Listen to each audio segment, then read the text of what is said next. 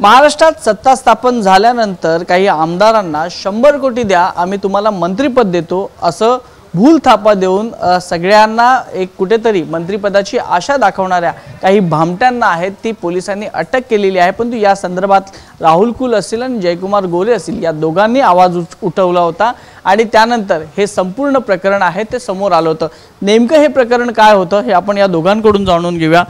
कुलसाहेब नेमकं हे प्रकरण घडलं कसं आणि तुम्हाला याचा मागोवा कसा मला एक फोनवर एका व्यक्तीनं संपर्क करून मी तुम्हाला मंत्री करण्यासाठी मदत करू शकतो अशा प्रकारे प्रलोभन दाखवण्याचा प्रयत्न केला. पहिल्याच फोनला मला हा व्यक्ती संशयास्पद वाटला आणि त्यामुळे माननीय देवेंद्रींच्या कानावर अशा प्रकारे काही इतरही आमदारांना संपर्क साधला जाऊ शकतो आणि हा फसवणुकीचा प्रकार मला वाटतोय असं मी साहेबांना सांगितलं.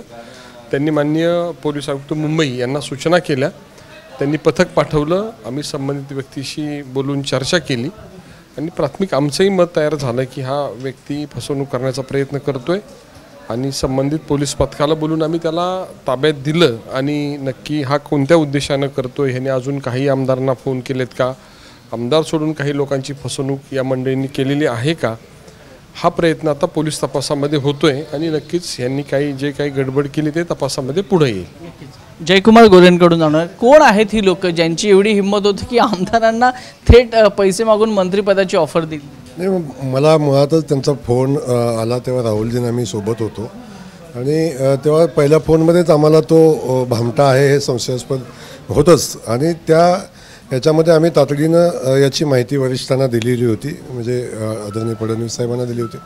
आणि त्यांनी तातडीनं पोलिसांना याची माहिती देऊन या संदर्भात चौकशी करायला सांगितलेलं होतं.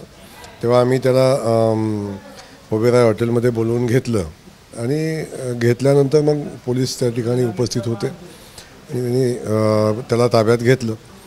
पण याच्यामागचा उद्देश हाच होता की असा आणि किती जणांना हे लोक फसवतात किंवा हा मंत्रिपदाचा विषय सोडून आणि काय त्यांचे व्यवसाय आहेत असे फसवण्याचे या संदर्भात तातडीनं पोलिसांनी चौकशी करावी. हा याच्या मागचा उद्देश होता. एकंदरीत सिनेमा स्टाईलने तुम्ही त्याला पकडलं पण ही लोक आहेत कोण? कुठल्या गावातली आहेत कुठल्या जिल्ह्यातली आहेत किंवा कुठल्या पक्षातली आहेत? प्राथमिक ते पोलीस तपासामध्ये पुढे येईल परंतु साधारण मुंबईपासून कोल्हापूरपर्यंतची ही मंडळी असावीत असा प्राथमिक मला शंका आहे. आणि निव्वळ फसवणूक करणे हाच त्यांचा व्यवसाय असावा अशी शंका आल्यामुळे इतर लोकांची फसवणूक होऊ नये.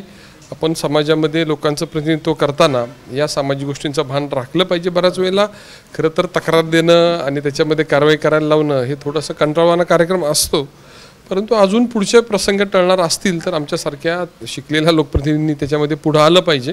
या उद्देशानं आम्ही हे सगळं देवेंद्रींच्या कानावर घातलं होतं. नक्कीच. आपण ज्या वेळेला हा पुढाकार घेतला ज्यावेळेला ह्या भामट्यांना अटक केली काही आमदार तुमच्याशी संपर्क झाला का? हो बाबा आम्हाला देखील कॉल आले होते. नाही मुळात असं होतं की राहुलजींच्या सोबत आम्ही होतो. राहुलजींचं बोलणं चालू असताना दुसऱ्या दिवशी त्याचा मलाच फोन आला होता. पण मी पहिल्याच दिवशी सांगितलं की मला मंत्री व्हायचं नाही आणि आपण दुसरा कोण असेल तर पहा.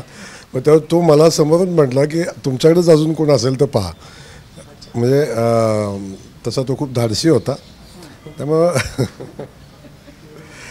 त्यामुळे त्याचं जे हालचाल होती त्याची मुवमेंट होती आणि बोलण्याची पद्धत होती याच्यामध्ये तेवढं समजण्या इतपत तर आता तीन तीन टर्म आमदार झाल्यावर तेवढं लक्षात येतं. पण तो सराईत भामटा होता हे याच्यातनं लक्षात येतं. आणि आकडे पण खूप मोठे होते. त्यामुळे ते काय आमच्या आवाक्यातलेही नव्हते. धन्यवाद आमच्याशी बातचीत केल्याबद्दल आणि तुम्ही या अशा भामट्यांना पकडून दिल्याबद्दल देखील. तर हे दोन लोकप्रतिनिधी आहेत ज्यांनी मंत्रिपदाची ऑफर नाकारून त्या सराईत भामट्याला आहे ते मुंबई पोलिसांच्या ताब्यात केलेलं आहे. एवढंच नव्हे तर इतर आमदारांना देखील त्यांनी अलर्ट केलेलं आहे की अशा कुठल्याही प्रकारचे कॉल जर आपल्याला आले तर आपण देखील अलर्ट राहिलं पाहिजे. कॅमेरा पर्सन नितीनसह वैभव परब एबीपी माझा नवी दिल्ली. एबीपी माझा. उघडा डोळे बघा नीट.